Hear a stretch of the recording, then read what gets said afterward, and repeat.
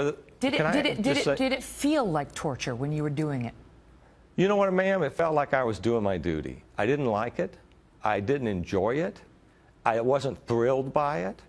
I found it repulsive at times, but I sucked it up and did my duty to keep people from dying.